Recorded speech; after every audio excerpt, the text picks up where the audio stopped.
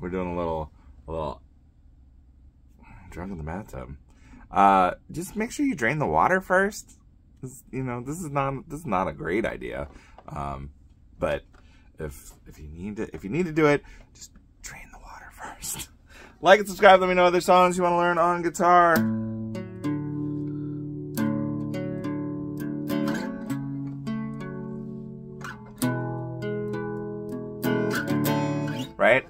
This, this great somber line going through the whole thing. Capo on the second fret.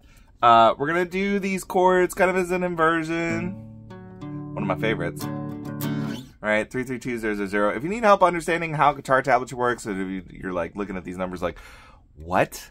Uh, there's an Instagram post in the comments section that you can check out. And, you know, you can follow me there if you like. Thousand followers over there right now, which is great. Um, but, you know, the number could always be higher, you know what I mean? E minor 77500. And then you go down to D uh, 554000. Right? So really kind of just like, you know, if you're just strumming the chords, two, three, and four, and, right? I'm just going down, down, down, down, down, down, E minor, down, down, down, and then D,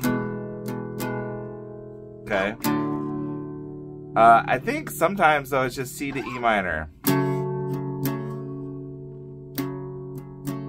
Actually, no. I think it always goes down to D.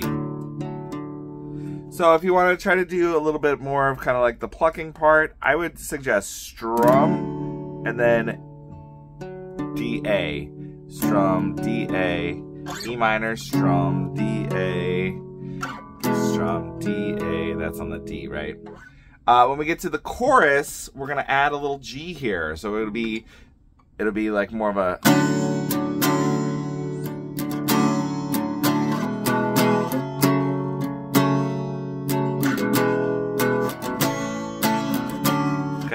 so you're going C, C, D, E minor, D, D, G, G, C.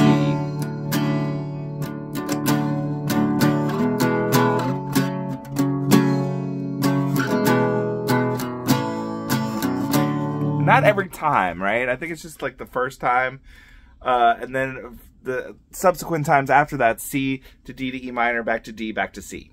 Okay, so it's not we're not reinventing the wheel here. This is not like you know groundbreaking chord work or whatever. This is just we're we're like the song. We want something to play along with. This is it. All right, like and subscribe. You can do that down below or right here. Leave me a comment if you like, and then check out some other videos as well. Thank you so much for watching, and uh, yeah, I'll see you next time.